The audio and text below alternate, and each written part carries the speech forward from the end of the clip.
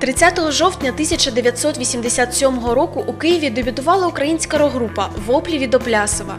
Відтоді минуло вже три десятки років. Склад гурту змінився, та її незмінним лідером до сьогоднішнього дня є музикант і шоумен Олег Скрипка.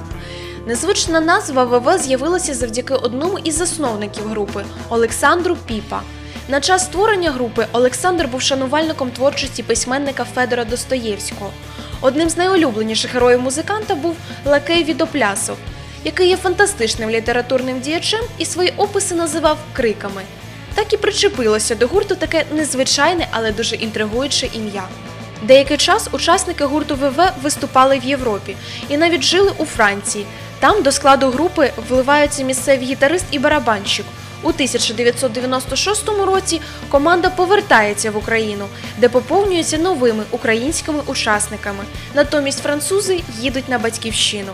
Мільйони прихильників по всьому світу обожнюють незвичний голос і акцент скрипки, цікаву українську мову з тонким присмаком Франції та веселі пісні групи.